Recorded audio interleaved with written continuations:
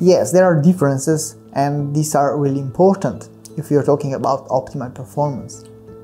So for example, most carbohydrate sources only contain glucose. So we have to know that all carbohydrates are broken down to monosaccharides before being transported from the intestine to the bloodstream.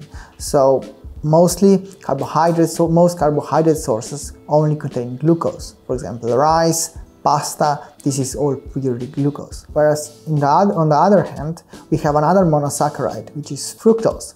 This is present in table sugar, this is present in fruits, but in relatively small quantities. And the evidence has shown that by combining these two carbohydrate types, we can actually speed up the replenishment of carbohydrate stores in the body. So for example, glucose is really effective for replenishing of muscle glycogen, but not liver glycogen.